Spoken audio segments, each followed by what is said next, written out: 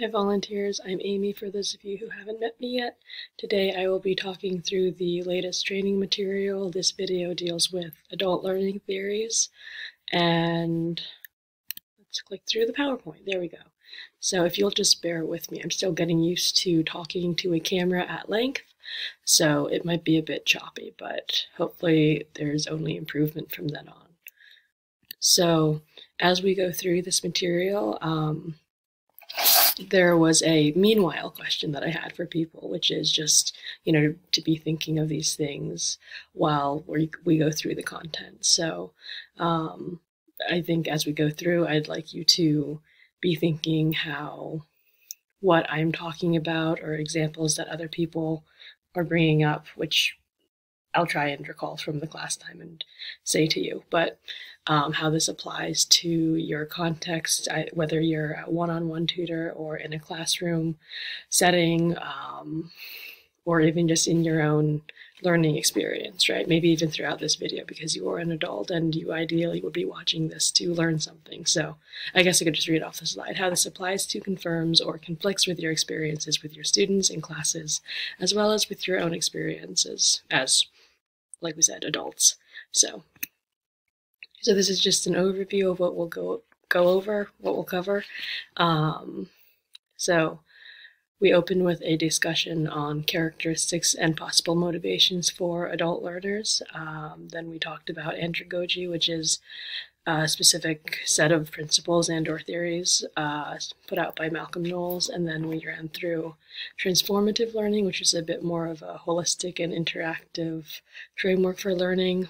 And then we had a discussion and a scenario from um, some articles. So, oh, I need to move my face out of the way. I just learned I could do this.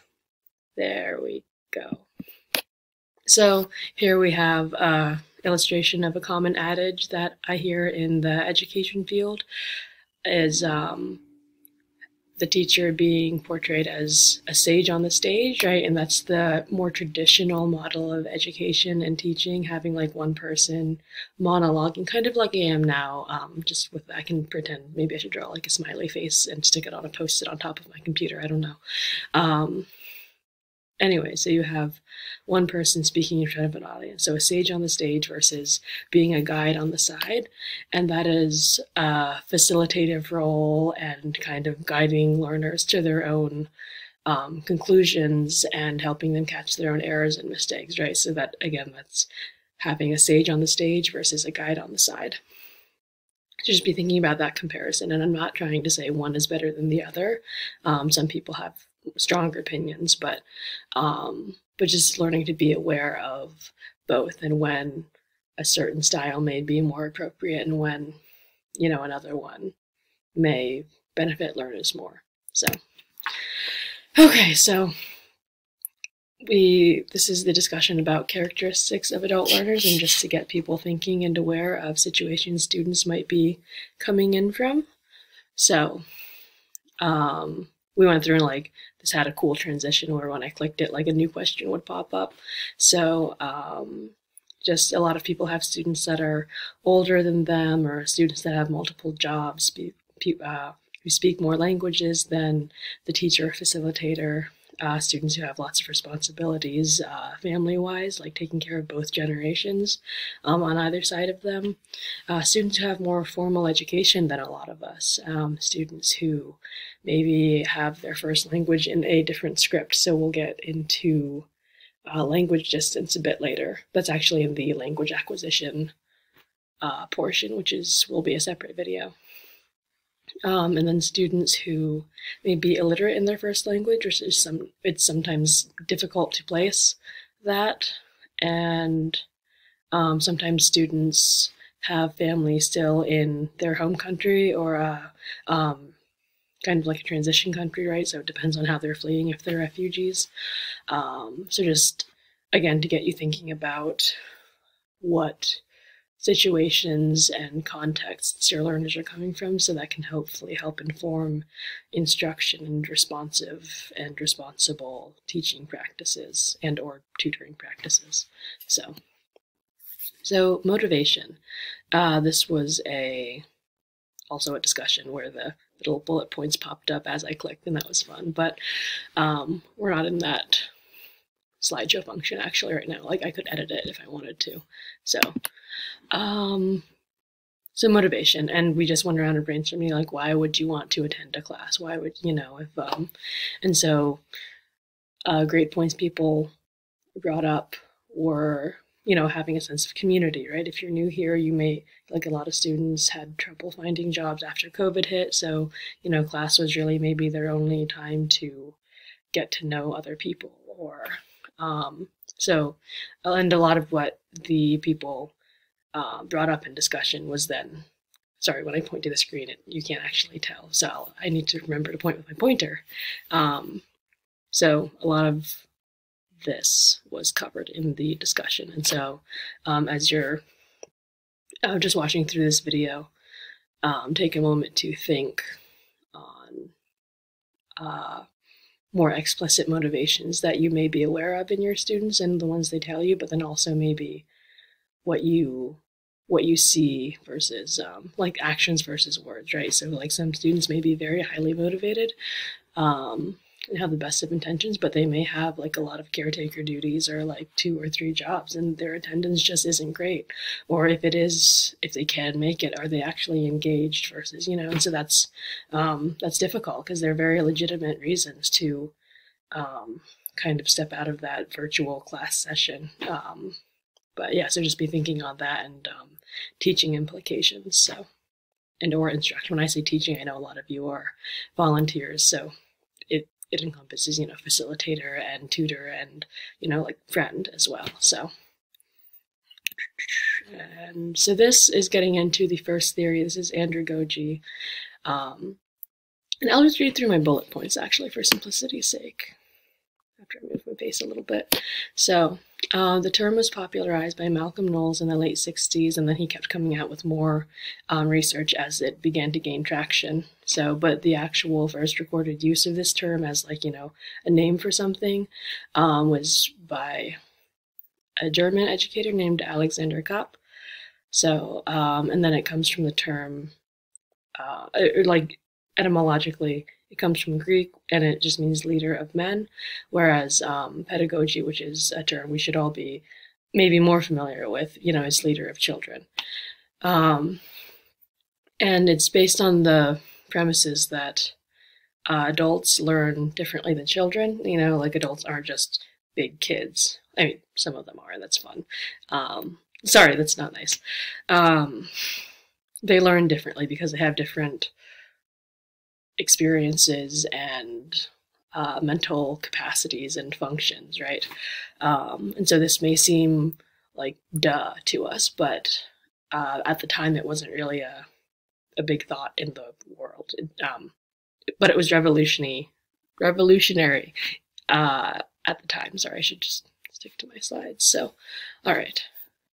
All right, so andragogy consists of six main principles, and we'll just run through these. It is one, the learners need to know.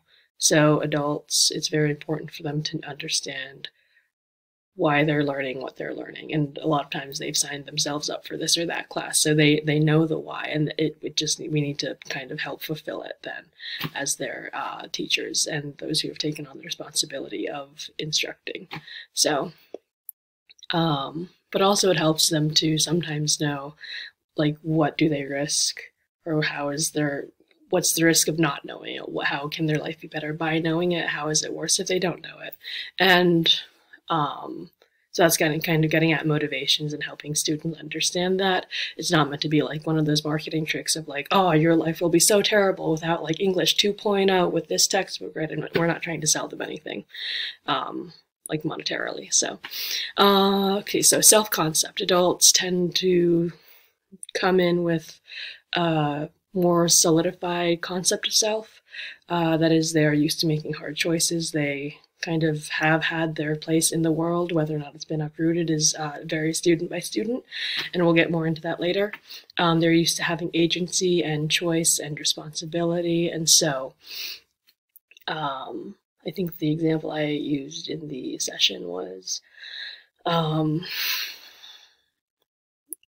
it may or may not be useful to have stickers uh, for writing assignments or like little uh, so you know don't be patronizing. But that was difficult for me because i personally love stickers. Um, but yeah so just being aware of how you come off and you don't want to be uh, patronizing because odds are they get patronized a lot in their place of work for being a non-native english speaker or just and like even people with the best of intentions they can come off as um you know patronizing and we want to be more mindful of that and not perpetuate that so and I'm sure a lot of you are like don't are very aware of this and don't do that. So, but um, yeah, just to help get us on the same page and have all the um, possible, you know, pros and cons. And okay, so prior experience, um, adults come with, and this is in the realm of education, but also life experience. So adults can come to the table with um,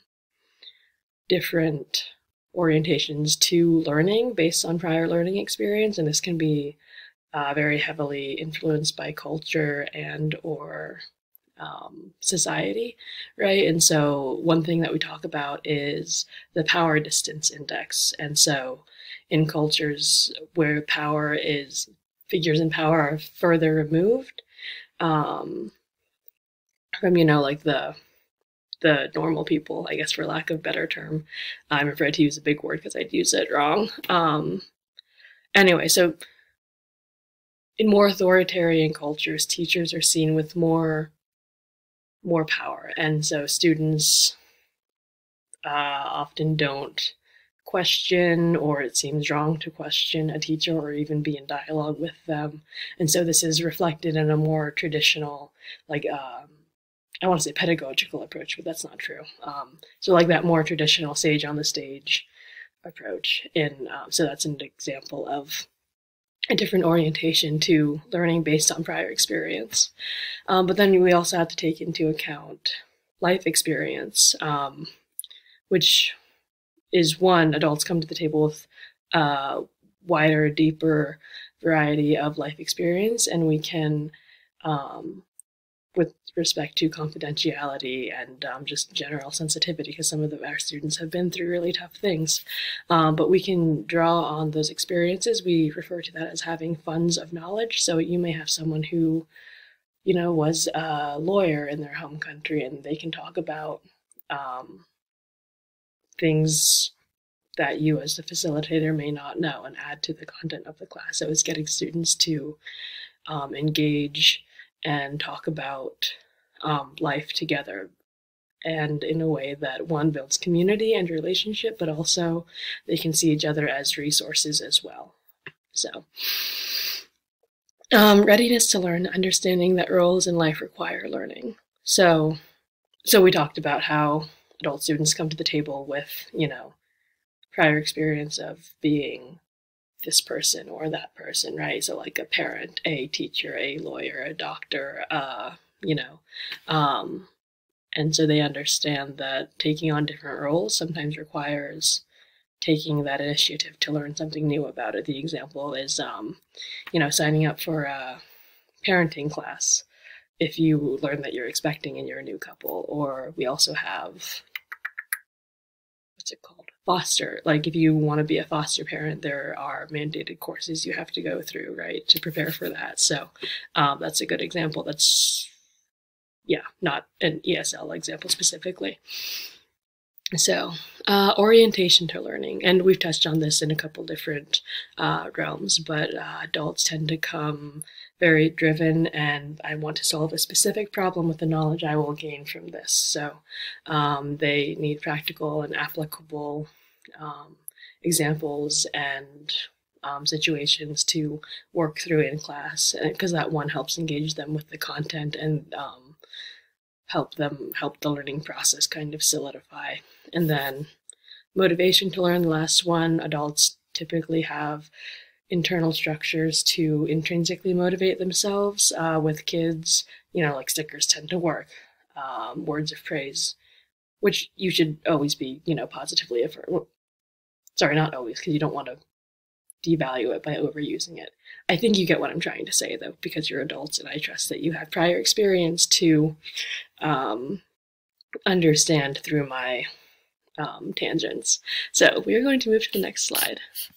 All right, so here's a simplified version. This is from a YouTube video that I will um, try and link in the description, but I'm still working on how to do that, so I will try my very best.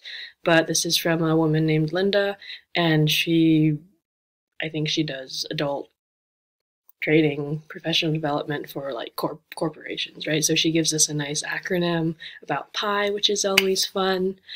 And um, so adults need application and so you give them practice in the classroom if you can and language learning this you know could look like i think i was observing and they the health and the health and uh, medicine unit recently. I don't actually know the name of it embarrassingly enough but uh, real practice looked like calling up uh, the local emergency room or doctor's office and going through the um, the the recorded menu.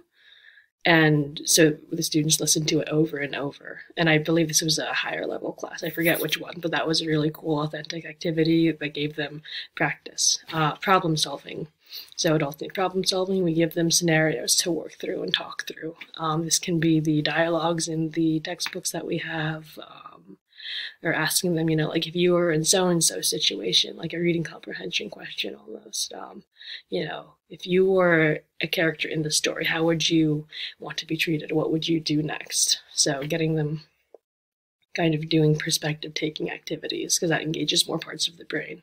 It also can tend to uh, engage the social brain as well. So, uh, involvement adults need involvement, so you give them activities, and then adults need experience, so we give them discussions. So, that the idea is they can learn from one another's experiences as well, and being able to or having to think about your own experience and then having to put it into words and articulate it to other people in a way that they will understand um, is also good for kind of condensing and organizing thoughts. So it is another mode of learning. So, and then if you have any examples from your experience with students, be thinking about what these look like, what giving adults practice or scenarios or activities or discussions, thinking about what that looks like um, in your context specifically. So, and then this is a little, blah, okay. I'll be right back. So, this is a little note about andragogy versus pedagogy, right? So, teaching adults versus children.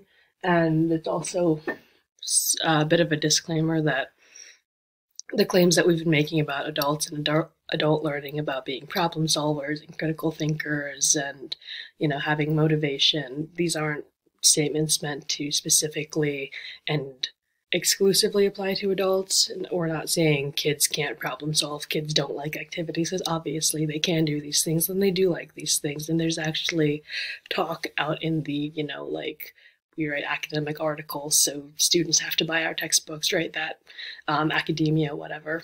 Um, and they're like, no, like the principles of andragogy could really just be re- repurposed as principles of good teaching. But you know, with everything, there's no definitive answer in that in that realm because people need to write their PhDs and debate. So, uh, anyways, this is I have to move my face again. Hold on, maybe up here. Well, anyways, I like this little chart. It's the direction of information and relationship. Typically in traditional pedagogy, there's the sage on the stage here. Excuse me, I just chugged a lot of water. Um, and then notice the directional arrow is one direction of information to, you know, learners that are kind of next to each other, but they're kind of, you know, like in parallel, but they're not necessarily interacting versus in andragogy, you definitely have the, um, He's not really a guide on the side, but he's like the center of the wheel in this one. So there's a two-way directional flow of information, but it also goes between students. So again, that's the more collaborative. Um, I don't know a good way, way to put my face somewhere. I don't know what's on the next slide. So anyways, um, also a bonus term I learned while researching all of this was called heutagogy. I don't know if I'm pronouncing that right, but um, it refers to the study of self-directed learning, which is interesting, and apparently it's kind of taken off in the era of COVID because it's a field of study used to design online learning environments. So, ah, there we go. Okay, so this is more information on um, pedagogy versus andragogy broken down by certain categories. And so this is from uh, the Summer Institute of Linguistics and on the handout, which I have here, but it's also will be attached in the email I send you to give you the link to this video is how I'm going to do it, I think. Uh, anyways, you'll get a copy of this chart with more uh, information. So if you're curious on the compare and contrast, because I know a decent amount of our volunteers come from an educational background and or have had children and or grandchildren. Um, so sometimes comparing the two is helpful. So, all right. I really should standardize my slides and where I can keep my face for recording. I'm sorry. Thank you for bearing with me. Look at all baby hairs. Wow. Sorry. All right, so transformative learning is the second framework we're going to talk through. It's put out by a researcher, scholar person named Jack Mezirow. And so this is especially relevant to adult learning principles because it's based on adults not relying on their previously established funds of knowledge, that is, their life experiences, you know, um, when they're learning something new, but instead using critical reflection and analysis to transform their learning and understanding. So the idea is that, yes, adults have experience, but then when they experience something new to learn it, it kind of is Sorry, I had better words a minute ago. Learning happens from the tension that arises between knowing what you know and then realizing there's new information incoming that you don't know. And so that tension, that friction between the known and the unknown should kind of be harnessed to grab attention and direct focus to learn the new whatever it is. So there's 10 steps here. Gosh, I have to move my face again. There we go. All right. I'll keep that in mind for the next time I make a PowerPoint, I think. Um, it's probably not a big deal, but kind of throws me out of my um, talking groove. Anyways, thanks for sticking with me again. Um, so this is the cyclical, the cyclical cycle of transformative learning. That should be a very technical term, right? Um, so you have that disorienting dilemma, like realizing you don't know something, examining yourself and or your knowledge of figuring out where the gap is, um, critical assessment of, you know, good or bad, how much do I not know? Am I, you know, dying without knowing it? Um, recognizing, if you do choose to recognize recognizing, like, okay, maybe I do need to choose, maybe I do need to change and learn this. Um, an exploration, planning a course of action, acquisition of the knowledge, provisional trying on of roles, uh, building of competence and self confidence, and then reintegrating into the new role. So again, you can see how this is learning integrated with um, application, right? Because it specifically talks about how can the learning help you in your role, whatever that may be. And so the question I had posed was, in what ways does our work with our students fit into one or many of these phases? Um, some answers that came out were um, in self-examination and or critical assessment you can have writing prompts for students that are you know student-centered um, not necessarily you know if you have again like it, read a story and you ask the students you know what would you do in this situation? Or how does this like is this similar to anything you've experienced versus you know what did so and so character do right? They're trying to think as themselves not necessarily in the place of the character. So again that's perspective taking um, but in a student-centered way. So um, another one that I remember we had mentioned was the building of competence and confidence with the students in their jobs for those that uh, work outside the home or even those who work inside the home because the whole family would be uh, in transition or has been in transition. So um, but specifically building of competence and confidence in a job setting where everybody else is speaking English. Um, a lot of students want to be able to pronounce things better. They want to lose their accent or at least be, um, excuse me, intelligible. But also in um, hearing, listening, um, listening comprehension, because a lot of them, you know, um, they want to know what's being said at work. They want to know what everyone's laughing at, and they're pretty sure it's not them, but they can't be sure, right? So just helping them build that um, in social situations. So, actually I'm going to pause here and start a new video because this is getting kind of long. So